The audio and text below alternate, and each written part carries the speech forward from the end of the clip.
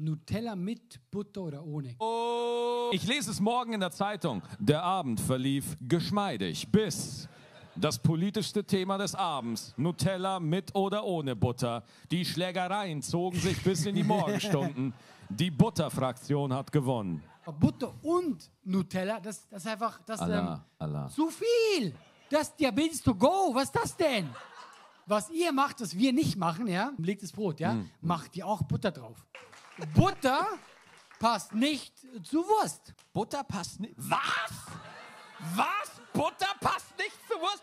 Butter und Wurst geht nicht. Ist genauso, als wenn man sagen würde, die Menschenwürde ist Quatsch. Butter ist für mich alles, was süß ist. Damit kombiniere ich Butter.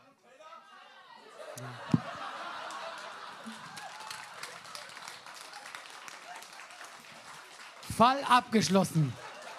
Er hat gewonnen.